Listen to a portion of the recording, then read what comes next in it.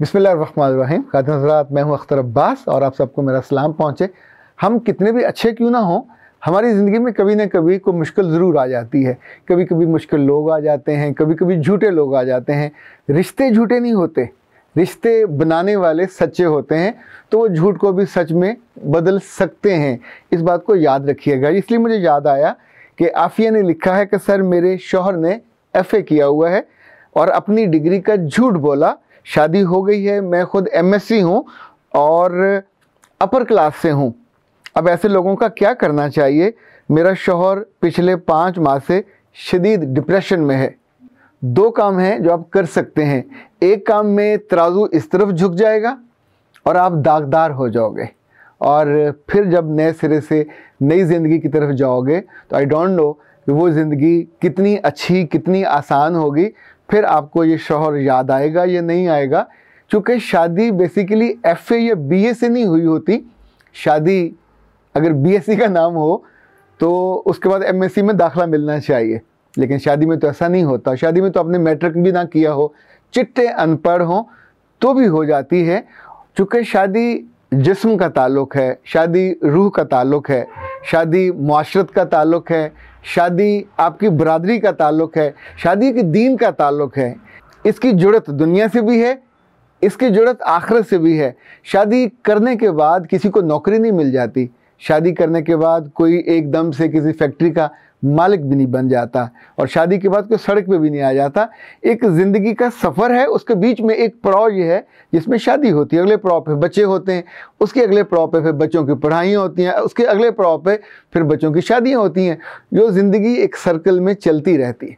अगर खुदा ना खास्ता, ये बात सच है कि आपके मियाँ ने आपसे झूठ बोला तो आप दूसरा जो काम आप कर सकते हो वो आपने कहा आप अपर क्लास से हो। अगर आप अपर क्लास से हो तो फिर अपर बनिए। अपर क्लास का होना, ये थोड़ी होता कि आपके घर के दरवाजे बड़े बड़े हों, वहाँ से हाथी गुजर सकते हो, वहाँ से ऊँट गुजर सकते हो। अपर क्लास का मतलब ये भी नहीं है कि आपके घर के पिलर इतने बड़े बड़े हों कि जहाँ से उनके ऊपर नोट लटके हुए हों। अपर क्लास का मतलब ये होना चाहिए। कि उसमें लोगों के दिल भी बड़े हों, लोगों का ज़र्फ भी बड़ा हो। आप में से जितने अपर क्लास के लोग होते हैं, मैंने तो उनमें से बेशतर को देखा है कि रब उनको रिस्क ज़्यादा देता है तो उनका दिल भी बड़ा होता है। इसलिए उनको रिस्क ज़्यादा मिलता है। वो लोगों पे खर्च करते हैं, वो लोगों पे मोहब्बत खर्च करते हैं, वो लोगों की चैरिटी करते हैं, वो लोगों को हेल्प आउट करते हैं, वो कारखाने लगाते हैं और लोग उससे अपनी ज़िंदगी का सर्कल चलाते हैं। आप अपने शोहर को बेज़त कर सकते हो आप अपने शोहर को रुसवा कर सकते हो। आप अपने शोहर को शर्मिंदा कर सकते हो और अपने शोहर को शर्मिंदा कर कर के खुदकुशी पे आमादा कर सकते हो। ये बहुत आसान काम है, पर आपको अच्छा लगेगा ये काम करते हुए। आप एक अंदर से एक कातिल बनोगे, आप अंदर से एक ज़िंदा इंसान की रूह के दुश्मन बनोगे। उसने गलती कर ली, आप उससे बड़ी गलती क्यों करना चाहते हो? एक गलती का जवाब कभी गलती नहीं होता। गलती का जवाब हमेशा माफ़ी होता है।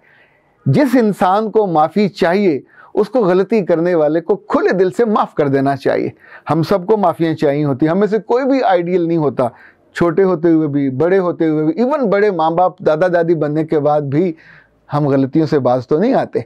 इसलिए हमको भी कभी ना कभी गलत बयानी हो जाती है। कभी ना कभी कोई ऐसा बात मुँह से निकल जाती है जो कि सच के तराजू पे पूरी नहीं उतरती।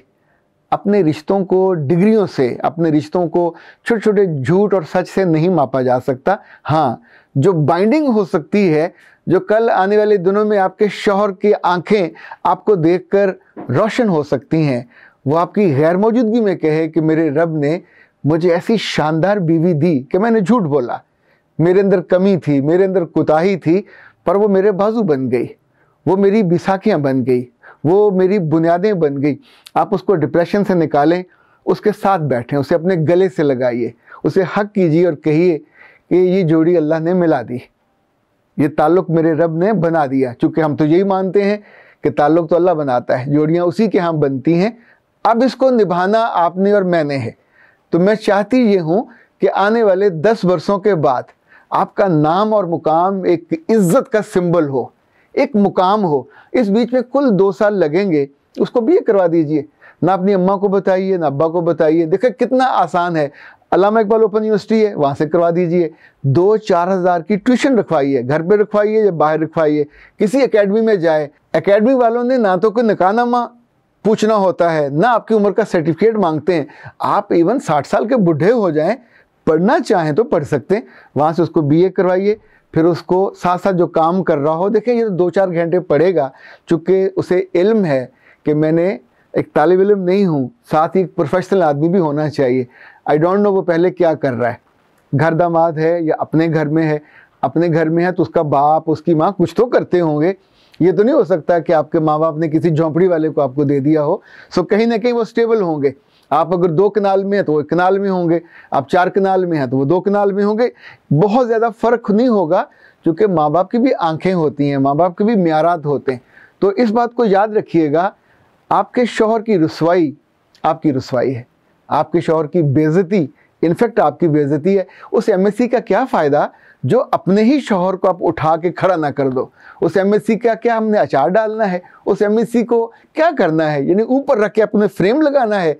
अगर उस एमएससी ने आपका दिल बड़ा नहीं किया और आप अपने ही एक डिप्रेशन में जाने वाले मियाँ का हौसला नहीं बनते, आप उसकी आँखों की रोशनी बनो आप उसके दिल का सुकून बनो, उसे बताओ कि आपकी डिग्री की वजह से मैं आपकी बेइज्जती नहीं करूँगी। आपकी डिग्री की वजह से मैं आपसे मोहब्बत कम नहीं करूँगी। हाँ दुनिया को दिखाने के लिए हम डिग्री बेहतर कर लेते। तो ये दो चार साल में तब तक आपके एक दो बच्चे हो जाएँगे, ये डिग्री भी बेहतर हो जाएगी। फिर कहीं दिखाना पड़ा, वैसे एक और बात बताऊँ। जिस रिश्ते में मोहब्बत हो, जिस रिश्ते में कुर्बत हो, उससे लोग कभी सबूत नहीं मांगते। उससे कभी लोग ये नहीं पूछते कि तुमने क्या किया हुआ है, कहाँ से किया हुआ है।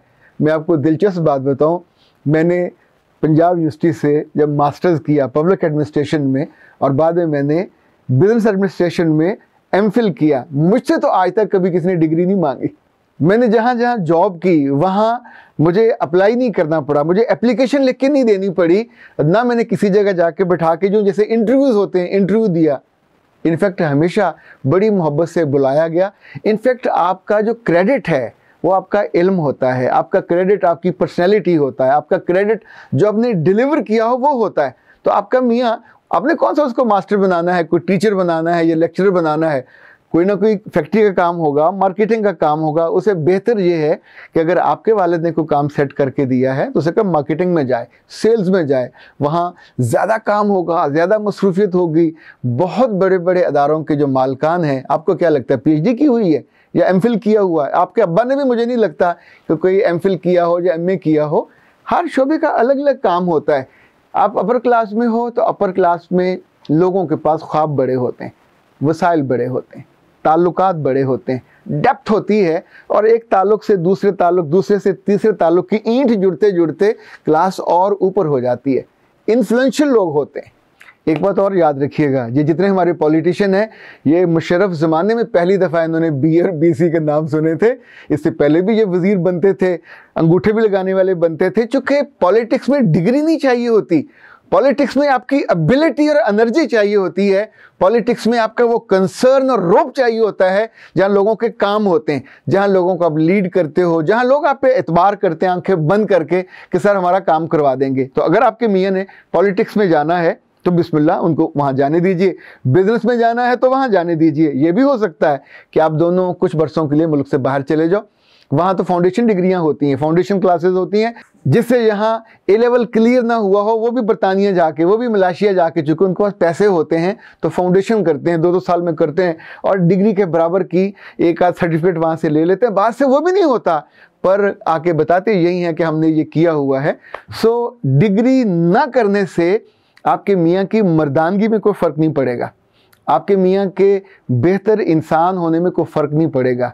पर उसकी डिग्री ना होने से आपके ज़र्फ़ पे, आपकी बर्दाश्त पे, आपके इलम पे और आपकी उस खूबी पे ज़रूर फ़र्क पड़ेगा कि अगर आप इंसानों को, और वो आप बिल्कुल आपके अपने पास वाले सबसे करीब इंसान है और ये इंसान आपका मियाँ है, ये इंसान आपका पर्दा है, ये इंसान आपका लिबास है, इसे मोहब्बत कीजिए, इसे ओन कीजिए, इसको ओन करेंगे तो आने वाला वक्त आपको ओन करेगा। फिर आप फ़ख्र से अपने बच्चों को बता सकेंगे कि हमने ज़िंदगी को इकट्ठे चलाया एक दूसरे को सपोर्ट करके। कभी अपने स्पाउस की कमी, कोताही को इश्तहार बना के नहीं लगाना चाहिए। अख्तर अब्बास को इजाज़त दीजिए। अस्सलाम वालेकुम।